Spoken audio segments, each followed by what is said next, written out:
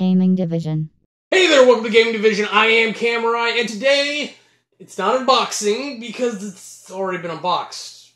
But if you're a fan of Super Dungeon Explorer, you may have realized that Soda Pop Miniatures has done a few things since then, and boy, do they got some things on the horizon. I realized after filming the other two videos that will release after this, Production Magic, that I never unboxed Forgotten King on camera.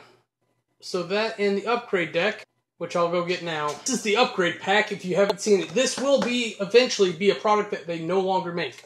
This is known as the first edition box. This will go away eventually. They are working on a second edition box with new models, uh, along with Super Dungeon Legend, which is their new push, along with too many other things, honestly. Um, we'll talk more about those, uh, maybe. Um, I can't believe I let this get ripped. But uh, this is what you add to that to get the new upgraded version that is compatible with Forgotten King. Yeah, that's what I'm talking about right there. So now it won't have that new box smell. Oh, jeez. And I had to duct tape one of the corners. So the box lid doesn't pop off quite so easily as if it were brand new. But, ta-da! Once you get into the box, uh, you're going to see a few pieces of paper. One of which is this brand new game advertisement for Ninja All Stars, which is coming out next year. Uh, the Kickstarter's already done and over with.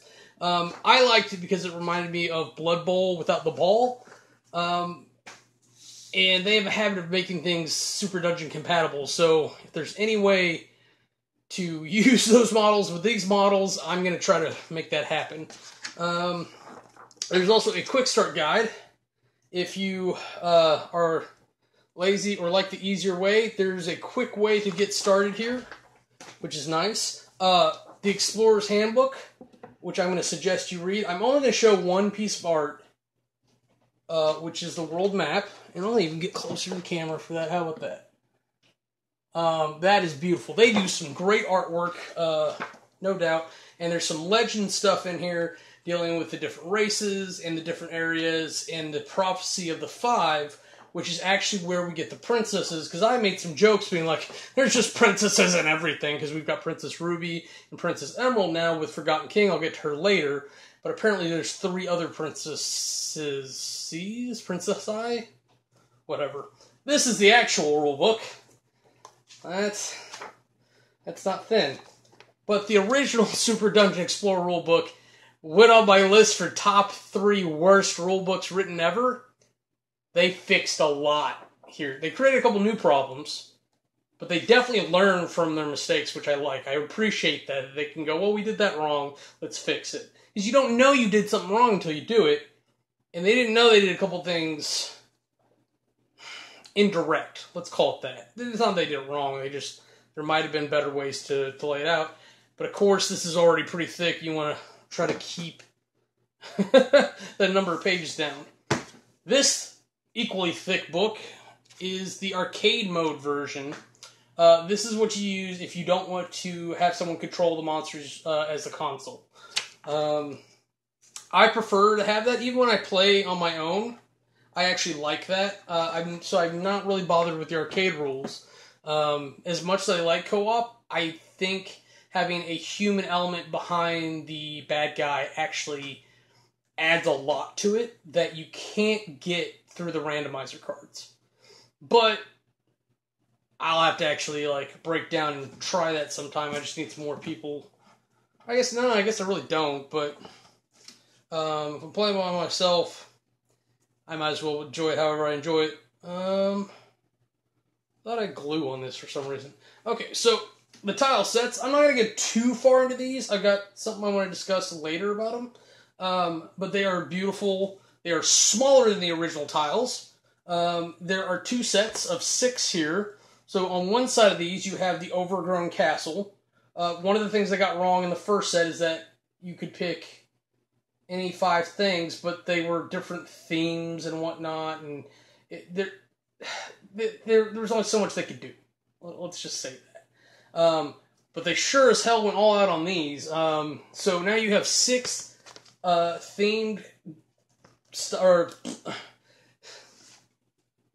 now you have six themed tiles that all will match up and look similar and whatnot, so you can actually pretend you're on an adventure in a certain place. This one's the Overgrown Castle. On the other side is the Fey Woods. Um, and I'll go ahead and just real quick, I'm not going to zoom in on these, but I'll go through them and then I'll go back through the other side. You can see the Fey Woods are just kind of woods. There's a bunch of these vine things that we'll talk more about in a bit. Um, the Overgrown Castle has more like statues and things that you would find, you know, like in a castle. Uh, okay, and we're done with tiles. I'm trying to move through this because I spent way too much on the other videos. Um, okay, so first, I'm going to note a couple things you can say goodbye to and a couple things you can't. I made one mistake when I prepping my bags earlier, and we'll come back to those. I baggy all my stuff because it makes sense, and for board gamers, it's important to be sensible. I'm desperately trying to figure out how to do the cards, which we'll discuss in a moment, but baggies work for tokens really well. They also work for unpainted models as well, so grab some Ziplocs or Glad bags, whatever you prefer. That's fine. So the Princess token uh, power token things from the first game, the start button, the loot button, uh, any, basically anything involved with that tracker uh, is not going to continue forward to the next game. Um, so we can say goodbye to those. Um, there are two tokens from the first game that status effects, uh, there are no replacements for these. However, uh, I don't know if they plan on reinstating these later on at any point, like maybe after second edition pops. Um, they'll find a use for these so you don't just have something to throw away.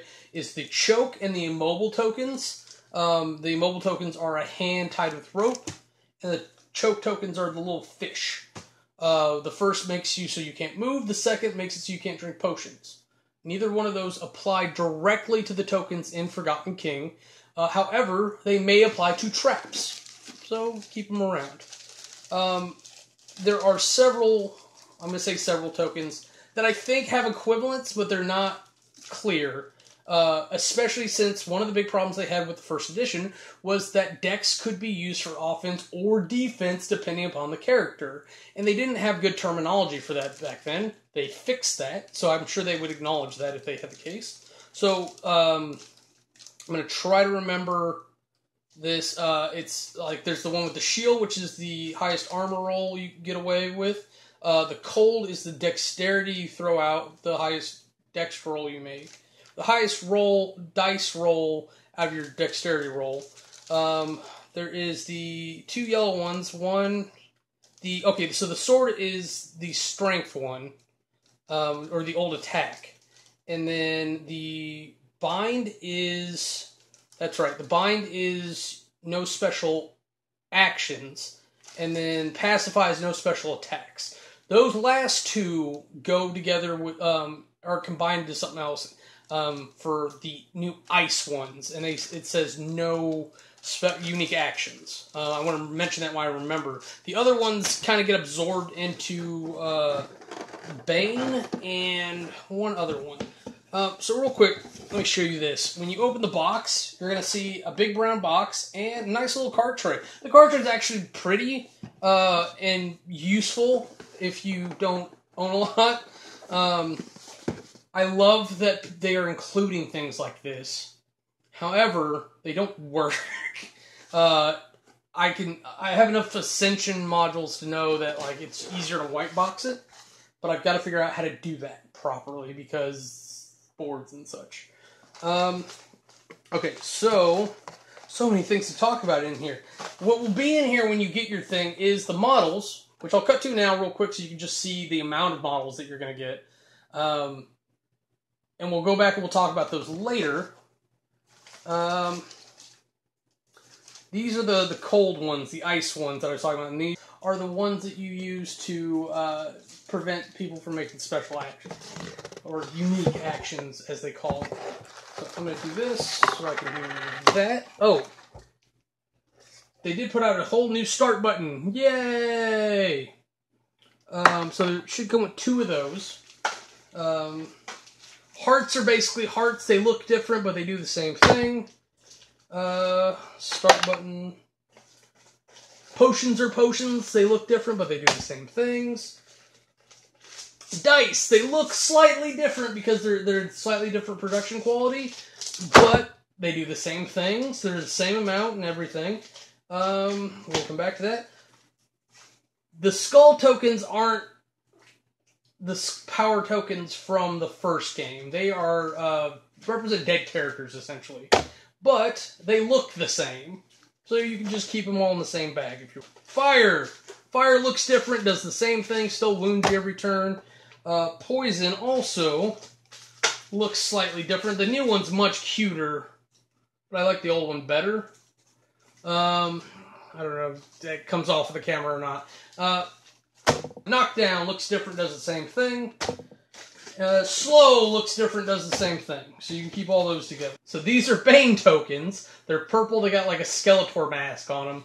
You throw away the highest defensive roll, whether it be armor or dexterity. It's the one with the little shield is the one that applies. And then Hex is you throw away the greatest offensive one, whether it be attack, uh, will, or dexterity. Fixes a lot of problems. I just kind of wish they translated better. Um, and that's not their fault this time around. It's their fault last time around. You can't change the past. Um, there's these cute little blue ones with uh, the yellow token on. They look very familiar from the first game. Uh, these are called princess tokens. These will let you uh, resurrect characters and do other things.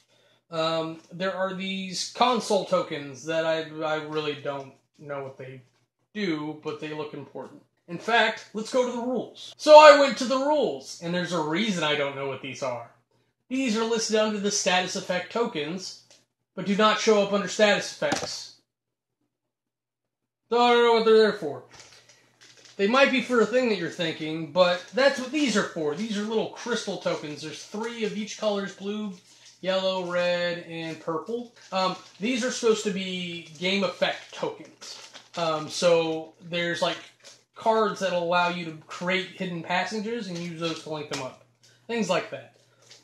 These are dungeon keys. Dungeon keys are used to open chests because now chests are locked and you either have to smash it open, risking breaking up one of the treasures, or find the key, typically with a mini boss. Uh, there are other cases and instances, etc. We are now have traps. There's a 2x2, 1x1s, 1x4s, 1x3, I think. Uh, maybe just 1x4s. Um, yeah. So that's fun. We'll get to how to activate traps and such later. Um, before I move on from tokens, uh, I'm going to address the token that I removed from the bag earlier. Bone piles! Bone piles, if you are a fan of the Von Drakk Manor set, bone piles haven't changed. The tiles, the, the tokens haven't changed. How you use them is varied slightly, and we'll get back to that. Okay, I took a moment. I pulled the case out for the cards because I'm going to spread them out a little bit. I think I'm going to start with the most problematic ones, and then I'm going to move to the more exciting ones because why not? Um, there are some tiny purple cards. First off, I hate you. Whoever decided this was a good idea, I hate you. I would have paid I would have paid 20 bucks more if you had just put a little note on the outside of the box that said where there's a $20 surcharge for regular size cards. I hate these. I hate these so much. I don't care if they sit in a deck or not. They're annoying. They're, they hurt my hands. They're too tiny.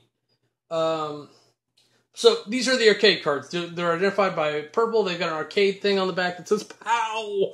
Um, so this is what you use to play the arcade game. These control the monsters on the board. Um,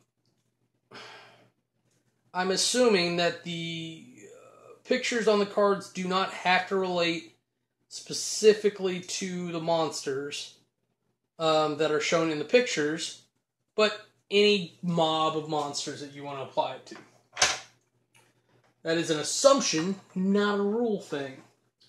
Um, so those are the cards that control the monsters. Uh, the large purple cards, which is confusing because there are expansions that are purple. Um, so you have to look for the arcade POW in the bottom left corner. Um, the upgrade deck does come with uh, upgrade cards, like here's King Starfire um, for the first edition cards to include special characters, which we'll get to more in depth later. Um, so we'll get rid of those. Uh, these are actually pretty interesting. These are tile effect cards. These come in basically anything that gives you tiles because there are little things on the tiles, little symbols on the tiles that have to explain what certain squares do. The way they do that is on the tile it shows a symbol such as this coffin shape. These are fresh graves. Fresh graves, when creeps are spawned for this tile, also spawn one rattle bone in each fresh grave squared. So I'm a fan of that because I like resurrection. And undead stuff's my favorite. Secret passage, which lets you tell essentially teleport from one place on the map to another. Uh, and it is any unoccupied secret passage square in the dungeon. And large models can use these, even though they are typically uh, thin, um, whether they're one by two or one by one. Um, they just have to be able to fit on the other side somehow. There are spawn locations for arcade mode m- noted on the tiles. Uh, brambles, uh, those were the viney things I was talking about earlier. They uh, count as difficult terrain and poison you, so don't hang out in there. There are statues, um, both good, I say good and bad, with offensive and defense uh, that will give you bonuses uh, for by inspiring you when you are next. Um, there is a goddess fountain. Uh, the tile effect is blessing. It's a little heart. Um, it does count as a structure, which means that it blocks line of sight.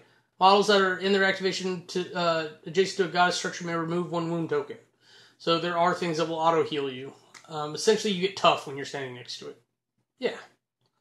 Um, except it's at the end of your turn instead of the beginning.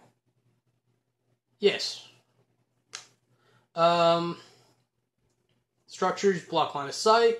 Chasms block um, movement, but not line of sight. Difficult terrain halves movement. Yes. Or costs two movement points instead of one. Which is a, basically the same thing. Alright. For whatever reason, we have a backpack card. This is supposed to represent where the cards go ever so temporarily while you decide what to do with them. Um, but there is an excessive cleanup step during the the cycle, so they don't stay here very long. Um, these are the cool new blue loot cards. Um, you, the heroes get far too many of these as they go. As you can see, they still have the color denominations. However, you will note that there are now red loot cards that go on the head. Uh, Elvish bracelet. I don't know why it goes on your head. It should be a circlet, not a bracelet. Um, but there's plenty of loot. This is way too much loot. Way too much for five or so heroes. Um, I speak from experience in trying to kill them. Um, and but once it starts happening, it's awesome. um, and then of course there are treasures, and I've not sorted these out by whose they belong to, but um, there are still character specific things like Von Drakk has the Mournful Vial, uh, plus one green to armor, uh, abilities, just a drop, uh, range one, heal one, maybe one more range one, uh, immune to status effects. Stop helping the heroes. They're the bad guys. So there's lots and lots. Like, I'm just going to do this real quick. There are more treasures than loot, and I don't even have all the treasures here. Um, it's a little weird, but you are restricted on how many treasures you can use. Now, the treasures are what you can use to heal yourself. You can't use loot to heal yourself anymore. Uh, thank goodness, because they don't need any more help. Um, because there's some crazy treasures in here, and I'm glad they can only have one of these. But also, you will note that the treasure is not just for the top anymore. Uh, they are for all four directions. So, you're welcome, heroes. You can trick yourselves out as best you can. And of course, we have uh, the spawn point cards, the war bands, and such. So, uh, Forgotten King itself comes with two, let's call them war bands. Um, they have the Bramble Knight set, spawning point, which comes with the, the Grobbits. So, okay, so we're going to go down to our teeny tiny shoved in camera. All right, so we've got these Bramble Knight spawning points here that include the grommets, these big rabbit executioners that you can see back here, right here. Um, those are three skull point models. Uh, there's not a lot of three skull point models in this game anymore. They tend to uh, round out because it helps make the easier for the console, I think, because you got to pair threes with ones and twos with twos most of the time. Frog Knights, it's really hard to see it because it's all green. If it was painted up and nice, it would look better. But these Chocobo, I'm sorry, ah, fuck it, they're Chocobos, um, have little frogs on the back that have these huge lances. Um, so not only, oh, they don't have reach. They need big lances just to hit normal me- uh, melee range. Um, and we have Billmen who do have reach. Um, and there are these little duck guys down here. Uh, I'm debating how much to go into what they've got because this game has been out for a while. Uh, I will say the Garrote uh, Executioners have massive damage. The Frog Knights have Surefoot, um, which I cannot remember what Surefoot is. But they also have Feint. Oh no, that's one of their abilities, uh, or one of their special abilities. Uh, the Billmen have Slow, so they can actually slow you down, which is interesting. Uh, the old growth hollow, which are these, includes the plant pack. Um, with has the the two wisps. There's these two like lady looking uh, plant people over here. They're essentially your poison mage type plants. I don't know. Um, you've got the mooks, which are the the the basic fodder guys here. You've got turnip heads, which are actually um, your healers which is interesting. And they're carrying like these giant carrots. Uh, it says turnips, and the picture's white. And then my favorite guy out of this whole set, I think, I think he's honestly my favorite thing out of the whole thing, is Sprout. Sprout is tiny. And he's actually pretty interesting, even even if he's tiny. He's only one blue strength. He's got three will, three blue will, and two red armor. So he can actually tank a little bit and then he has an aura he can put out to give all the the other planties uh, plus one blue strength. Now, what happens is when he dies, or you can force it to happen earlier, is he can actually turn into this giant plant. I actually am going to pick him up, and he's rooted to the ground. He can't move after that point, but he can pull heroes in and actually keep beating on them that way. So up to four away, he can pull three in. Yeah, that's how math works. Um, he's poisonous. He's uh, he's immune to poison himself. Oh, it's awesome. It even says "feed me." Oh, which means that he can eat his friends and he gets health back for it. I really like it. There are new Boo Booty cards. There is a Bouncing Booty, which has two actions, and it can use one a- one action to bounce it, uh, and use Pounce. Uh, Booty Grinder, which can use an action to uh, use grind it. Let's discard one piece of equipment of their choice, so it'll actually eat your equipment. Then there's standard boo booties. So, like, now that there's three types of boo booties, uh, fortunately, there's only one of each of the special ones and two of the, the normal cards in there. So, that's good. We also have these uh, crazy looking squirrels. Okay, and that's all the Forgotten King stuff. Now, in the upgrade kit, we still got. Oh, there's a couple more Forgotten King cards. But as far as the, the spawn points go, um, we've got the Kobold Warrens from the first set. You'll notice a lot of changes to these. Uh, they work, in my opinion, a lot better. The the big advantage is that they have mob. Um, you still have hot pot on your flingers, um, scale wall on your iron scales, uh, but they're all fast little critters. And um, Dragon Priest is downright nasty. He's now two red will, range six. Um, but he does not have his little uh, super blast that he had before. So now he just has three actions you can fling magic at him with, and then he can boost uh, kobolds and drakes one blue strength. Um, Egg Clutch is the Drake uh, one. You'll notice when you get these, uh, there's really almost no difference. Yeah, I don't think there is a single difference here. Uh, the wyrmlings can shoot, apparently. That is different. Maybe there's a couple other hidden gems in there, but they also have the affinities as well. Um, oh, which is actually something I should have mentioned. Uh, so, like for the egg clutch, for instance, spawn points now have special abilities that they'll give out. So there will be certain packs that work better together now. Um, hatchery, when a non-egg clutch spawning po- point spawns, it may place its monsters within two squares of egg clutch in addition to its own model. That's actually pretty nasty, given how they spawn now. Uh, the way it's you spawn monsters in Forgotten King is that each spawn point now has four hit points and it takes a hit point to spawn in addition, or and that's after the initial spawn at the beginning of the game. Um, so it, as long as the heroes are killing something, eventually these spawn points will go away. Um, Lava Whirl from uh, Roxor, they are all one or two skull point models now. Uh, Rock Pile, the Turtle Gang, if you will. Uh, turtle shells. The turtles are no skull points, which I didn't notice before. Crusher is now a two point skull model, uh, which I think is kind of an insult. Good old Crusher there. He was actually my favorite turtle. The pumpkin patch. A big thing to note about the witches is that they no longer have the potion ability. It is no longer automatic toading.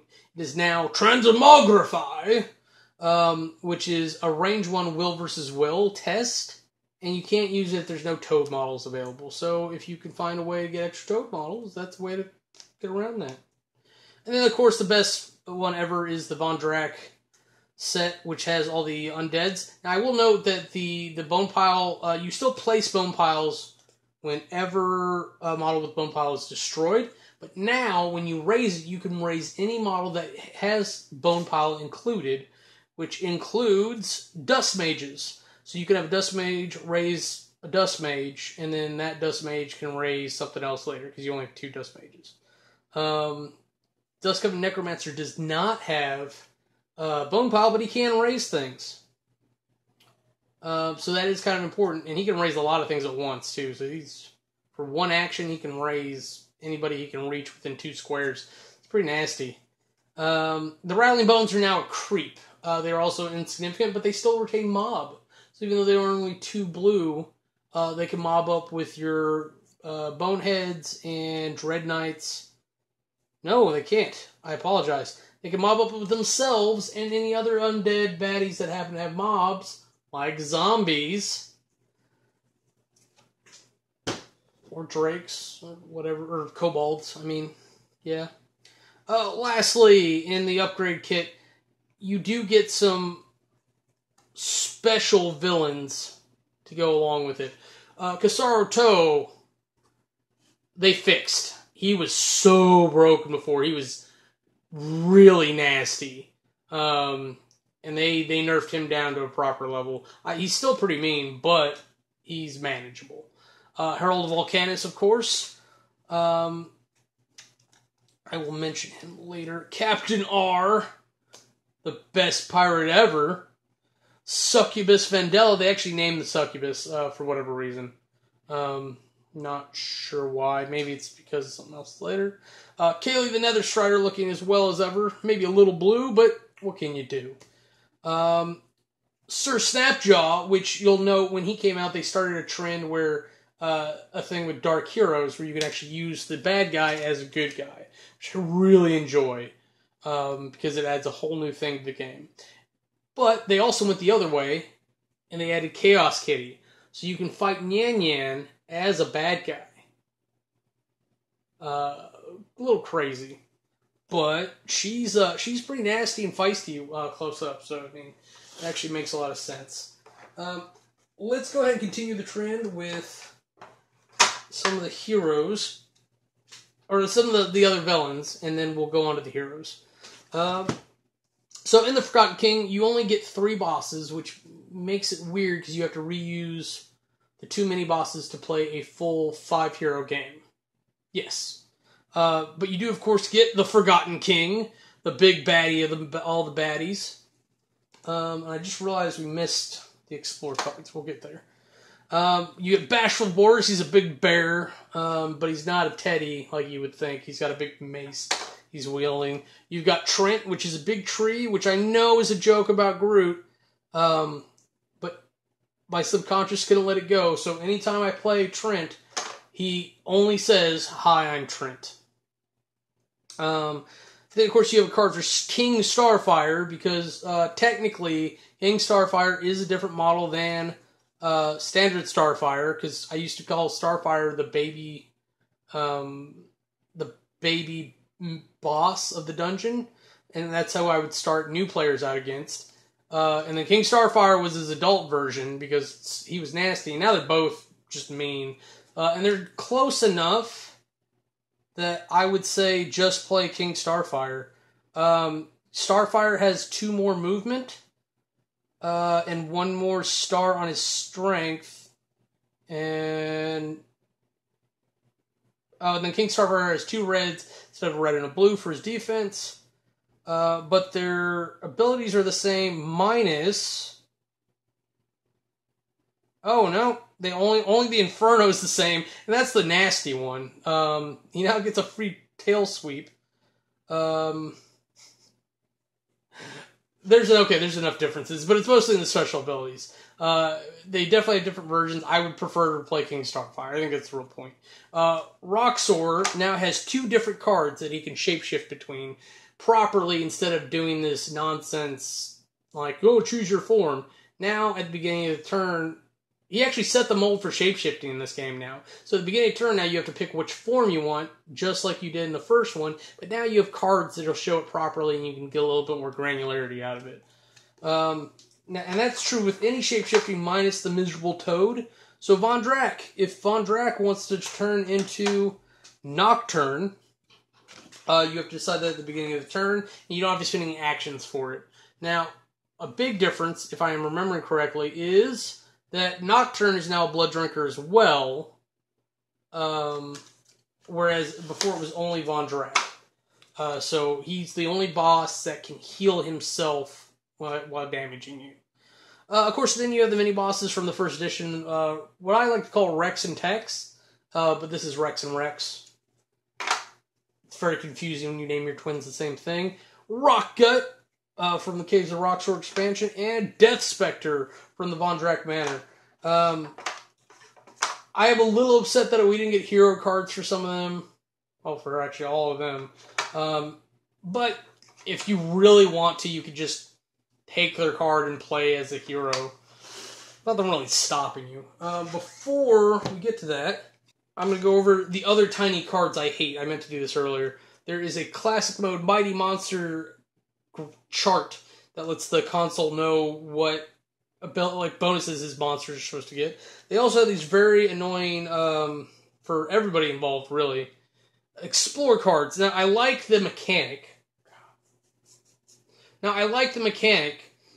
There are these little cards, and they have some text on there, and they have a face sometimes that tells you how many creeps to put on the board. So anytime a hero, the heroes search the dungeon, uh, the dungeon tile, which I can do once per tile, or they walk into it for the first time, minus the beginning of the game, you pull one of these cards. Now there are generic ones that are showed up every time, um, and sometimes it's not creeps. Uh, sometimes it's traps that you can spring, and uh, usually it's across the opening of the of the the dungeon. Um, and there are personalized ones for the Forgotten King, Starfire, I'm not. I don't know why I'm holding these up. These are too small. Von Drakk, and I'm tired of touching these cards. Uh, what I will talk about real quick though before we move on is pets. This is a brand new thing. We have pets. There's a little dog.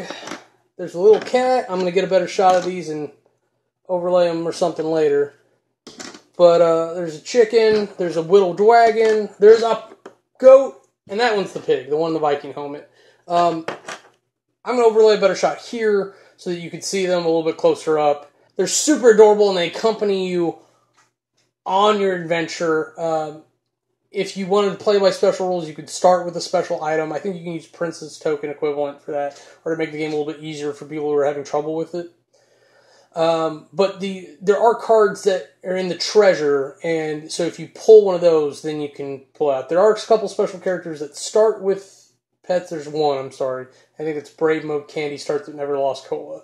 Um, I was thinking Kunoichi Candy, but um, Ninja Cola is actually his own special character. All right, on to heroes. Of course, first and foremost, we have the miserable Toad. Um, nothing's really changed. It still takes a smooch to get him back to normal. Of course, we have Trent, Deepwood Trent, and Bearstruck Berserker. So apparently, he's supposed to be a cursed berserker in the shape of a bear. Okay, that makes more sense. Um, in this expansion, in the Forgotten King, the five heroes that they chose are the Fey Alchemist, who really just looks well. He's magical. We'll give him two red on magic. It's fine. I'd say mostly he's supposed to be a potion worker. She didn't work out too well for Candy before, but she's still super fun to play. Uh, Princess Emerald, who is another uh, shooter like one shot, and they fixed shooting in this. Both her and one shot use dexterity instead of their attack roll, which I don't necessarily agree with, but it is a call in the game designer. It's not a bad call. It actually helps simplify things that all range things use dexterity. So, bully for them. Uh, Questing Knight, which I thought was funny that they actually put somebody in a full plate, including helmet. They gave him this big old stick. I want you to see this real quick. Big old stick. Put it up against my hat so you can see a little better. Um, it's ginormous. It's a lance that you would use when mounted on horseback. Um, the Royal Warden, which I thought was clever. He's like a balanced character, like the the Deepwood Deeproot Scout. Um, but eh.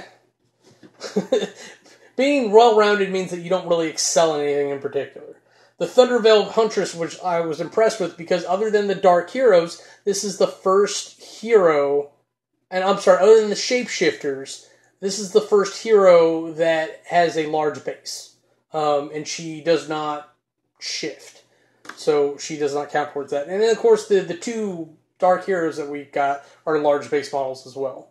Uh, and of course you've got uh, new art and new layouts for the original cast, the uh, Rock, Caves of Roxor, the video game s ones um, that include Princess Ruby, uh, and then you've got the Von Drakk Manor cards. And then you have all the special heroes like Sebastian Cross, Princess Maya, uh, Calico Kate, of course, Nyan Nyan, One Shot, Codifier Kisa, uh, Soda Master Candy, uh, which they changed from being Candy and Cola.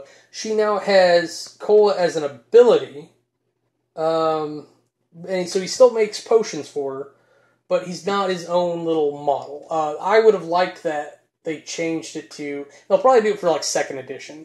They'll, they'll put out like either be limited edition or not. They'll put out candy and cola, and they'll have it be the same thing because that that model works very much how the pets are directed. The pets each have their own actions that they can do for their master, and if Candy just has cola as a pet, then the cola model can make potions for the candy model. And of course, we have the our, our new Dark Heroes. Um, or I say new. The Wormclaw Exemplar is the Sir Snapjaw of heroes. Uh, Curse Captain is Captain R. Outcast Succubus, which is probably why they renamed her Succubus Vandella. Or maybe that was always her name, they just didn't put it on the card. Um, instead of Kaylee Netherstrider, we have the Nether Assassin, which I'm still going to call her Kaylee because I like her and I'm going to play her eventually as a hero. I think it, it, honestly she'd be in my top like three. She's definitely in my top Dex character. Um, and the Dark Centurion is a hero, which really doesn't make any sense because his whole character is he's a Celestian that went uh, bad and essentially turned uh, traded over to the demons or something. He's got some dark, crazy backstory. All right. we've gotten through all the extras, all the tiles, all the models, and all the cards. And real quick, I'm going to go back through the models a little bit to try to give you some better shots since I just really wasn't happy with the other footage. And I don't know. I, will No, I'm not going to do that. Never mind. Sorry I said it. Yep, real sorry I said it. Okay, so we're going to cut all that out. Point is that we got through everything. And now, this has been a breakdown of Forgotten King. I am Kamurai. Thanks so much for watching. Until you see me next time, that's game over. If you want to see anything else we're up to, go ahead and click the annotations, and they'll take you to our other channels.